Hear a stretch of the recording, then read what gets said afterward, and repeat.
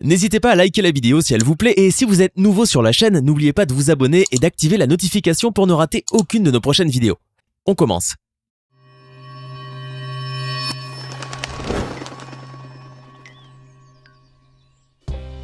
Bonjour et bienvenue à tous. Le monde du transport a longtemps fasciné l'humanité. On souhaite toujours aller plus vite, plus confortablement et avec plus de style. Un objectif bien noble, il faut en convenir. Cependant, bon nombre d'inventions de trains, bien que innovantes et surprenantes, ont fini par être abandonnées. Au final, nous aurions pu utiliser des trains vraiment révolutionnaires, mais malheureusement, ils sont tous tombés dans l'oubli. Quel gâchis Aujourd'hui, nous allons vous parler des 5 technologies de trains abandonnés. Vous êtes prêts? Alors les voici on aurait tort de prétendre que la guerre froide n'a amené que de mauvaises choses, car c'est presque l'inverse. Les technologies de l'époque étaient vraiment surprenantes. Parmi elles, le SVL, un train surpuissant construit dans l'Union soviétique des années 1970 et qui aurait été bien sympa à utiliser par les citoyens. Pourquoi diriez-vous? Eh bien c'est simple, le SVL est justement l'abréviation russe de High Speed Laboratory Car, ou en français le train de laboratoire à haute vitesse. On comprend donc qu'il aurait été ultra rapide, et c'est bien le cas puisqu'il aurait pu atteindre la vitesse de 260 km par heure.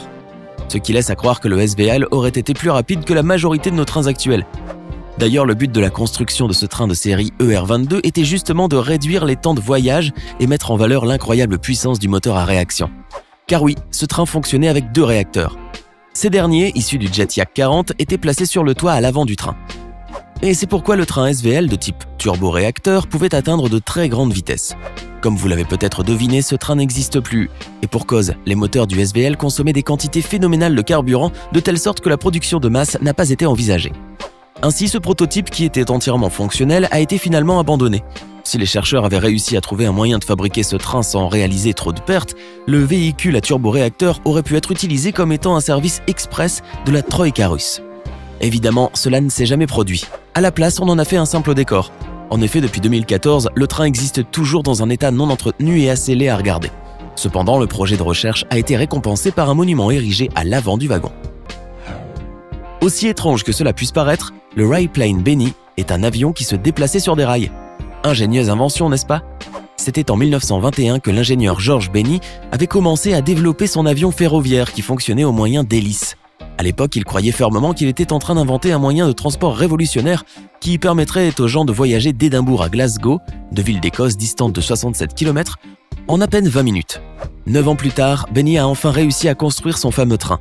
Cependant, vous vous demandez certainement comment a fonctionné le Rayplane de Benny. Eh bien, cette sorte de train était suspendu à un rail aérien qui pouvait être ajouté à des rails déjà existants. L'énergie était fournie par un moteur diesel et des hélices différentes qui permettaient au dispositif d'atteindre des vitesses assez élevées, soit 300 km par heure, et facilement adaptables à une utilisation urbaine. C'était l'invention du siècle. Plus encore, les wagons légers de Benny allaient être moins chers à exploiter que les trains classiques de l'époque. Le Rayplane pouvait également être capable de monter et de descendre des pentes plus facilement que les autres trains. Bref, l'invention de Benny était vraiment extraordinaire, et pourtant, cela n'a pas marché. Mais pourquoi George Benny n'a-t-il pas réussi? Après tout, le monde entier s'était intéressé au projet de Benny qui avait tout ce qu'il faut pour fonctionner. Eh bien malheureusement, Benny n'a pas pu obtenir le soutien financier dont il avait besoin pour développer son système de transport. La ligne entre Édimbourg et Glasgow n'a jamais été construite, ni aucune autre d'ailleurs. En 1937, Benny était en faillite car il avait construit son train pour la majeure partie à ses frais. Néanmoins, il ne s'est pas découragé. Il a tenté le tout pour le tout pour que son projet voie le jour. Ainsi, il a créé deux sociétés en 1946 et en 1951.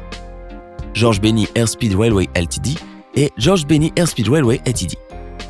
Son plan était de développer un service ferroviaire entre le Nil en Égypte et la mer Morte en Palestine, ainsi qu'entre Bagdad et Damas. Sauf que aucun de ces projets ne se sont concrétisés, et George Benny est mort ruiné en 1957, un an après que son avion-train ait été vendu à la ferraille en 1956.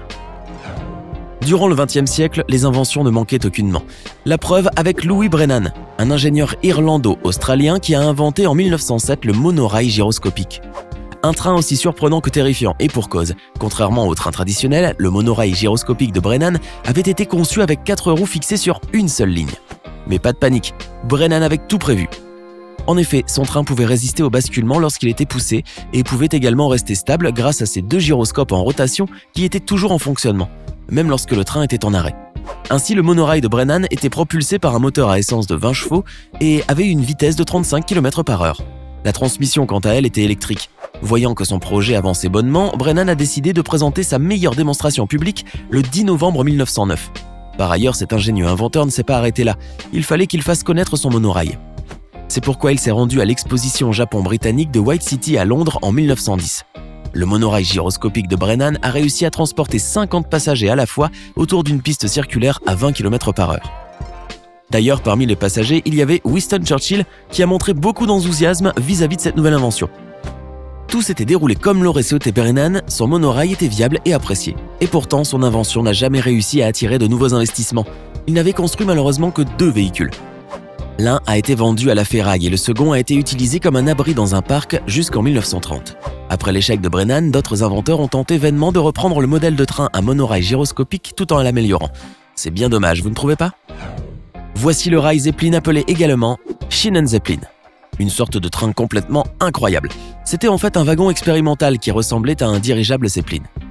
Conçu et mis au point par l'ingénieur aéronautique allemand Franz Krukenberg en 1929, ce train disposait d'une hélice propulsive située à l'arrière ainsi que d'un moteur d'avion qui permettait à ce train d'atteindre des vitesses phénoménales pour l'époque. En effet, ce train a battu le record du monde de vitesse sur rail le 21 juin 1931 en atteignant 230 km par heure. Ce record n'a été battu qu'en 1954 par deux locomotives françaises qui ont atteint 331 km par heure. Il faut donc croire que c'était un exploit pour l'époque. Par ailleurs, cette vitesse élevée est due entre autres au faible poids du rail Zeppelin qui n'était que de 20,3 tonnes. D'ailleurs, ce train a été construit en aluminium dans un style aéronautique pour réduire le poids. De ce fait, ce train devait fonctionner parfaitement bien et aurait pu surprendre plus d'un passager par ses vitesses hors normes et également par son confort qui n'était pas des moindres, puisque son intérieur était spartiate et conçu dans un style bohos. N'est-ce pas un incroyable train? Par la suite, en 1932, Krukenberg effectua maintes modifications sur cet extraordinaire train afin qu'il puisse être encore plus développé qu'il ne l'était déjà. Mais cela n'a jamais été assez satisfaisant. D'autres constructions ont eu lieu et la dernière a été au début de l'année 1934. Ainsi, ce train a été vendu au Deutsche Reichsbahn, le chemin de fer allemand impérial. Et en 1934, le Rail Zeppelin fut finalement démantelé car son matériel était nécessaire à l'armée allemande durant la Deuxième Guerre mondiale. Cependant, plusieurs idées de Krukenberg ont été reprises pour la construction d'autres sortes de trains. Mais pourquoi ce train n'a pas réussi à trouver le succès, diriez-vous? Eh bien, l'un des inconvénients du rail Zeppelin ferroviaire était la difficulté inhérente à tirer des wagons supplémentaires pour former un train. Plus encore, ce train ne pouvait pas utiliser son hélice pour monter des grandes pentes car le flux se séparerait lorsque la pleine puissance serait appliquée. Aussi, ce train avait des problèmes de sécurité, à savoir l'impossibilité de faire marche arrière, l'utilisation d'une hélice à proximité des passagers, etc. Néanmoins, l'idée d'avoir construit un tel train était vraiment incroyable. Il n'aurait fallu qu'effectuer quelques améliorations. Tout le monde a déjà entendu parler de l'Hyperloop. Ce train circulant dans un tube pressurisé qui pourrait atteindre les 1200 km par heure. Seulement, l'Hyperloop a été fortement inspiré par une autre invention bien plus ancienne. Il s'agit de l'aérotrain. Un train extraordinaire développé par l'ingénieur français Jean Bertin durant les années 1960. En effet, l'aérotrain circulait sur coussin d'air le long d'un rail en forme de T renversé et avait beaucoup en commun avec l'actuel projet du train Hyperloop. Malheureusement, de l'invention de Jean Bertin, il ne reste plus rien aujourd'hui, à part quelques kilomètres de la voie aérienne et ses pylônes perdus au milieu des champs qu'on perçoit encore lorsqu'on prend le train entre Paris et Orléans. C'est là qu'a été construite une ligne d'essai pour tester ce surprenant train volant. Ainsi, après que Jean Bertin ait tenté vainement de convaincre la SNCF de l'intérêt de son projet, il a pu convaincre la délégation interministérielle à l'aménagement du territoire et à l'attractivité régionale. C'est le début d'une victoire qui finira malheureusement en échec total. Durant les premières années, cet avion sans aile a réussi à battre tous les records de vitesse en atteignant les 345 km par heure. Plus tard, en 1970, ce train a battu un nouveau record en atteignant cette fois les 430 km par heure, une vitesse inégalée à l'époque pour un transport sur rail. C'était si surprenant que ce projet a été soutenu par le président de Gaulle et par Pompidou. La raison en est simple. Il voyait dans l'aérotrain un moyen de communication interurbain qui pourrait être très utile pour connecter les futures métropoles régionales. Tout était en place pour débuter l'usage de ce train. Pendant près de trois ans, le prototype commercial appelé Aérotrain 180 HV Orléans a effectué de nombreux essais qui se sont déroulés parfaitement bien. Et entre 1970 et 1973, plus de 180 000 passagers ont été transportés sans aucun incident, et les délégations étrangères ont fait la queue pour admirer ce train. Tous les pays en voulaient un. Alors que le train avait battu un nouveau record du monde de vitesse à 430 km/h. En 1974, le nouveau président de la République, Valéry Giscard d'Estaing, décide brusquement de mettre fin au projet de Jean Bertin. Pourquoi diriez-vous? Eh bien, c'était à cause du choc pétrolier. Cette décision soudaine a pu choquer à l'époque et certaines personnes ont fait le choix de croire que tout ceci n'était qu'un prétexte. Peut-être que Giscard d'Estaing avait voulu privilégier le TGV en cours de développement par la SNCF. Après tout, le fils de Bertin a toujours soutenu que la SNCF voyait d'un mauvais œil l'arrivée sur le marché de cet acteur privé. Quoi qu'il en soit, après cet échec total, Jean Bertin ne s'en est pas remis et a décédé quelques mois plus tard, en décembre 1975. Quant à son projet, il est tombé dans l'oubli. Alors dites-nous en commentaire lequel de ces trains aujourd'hui abandonnés devait à votre avis marcher.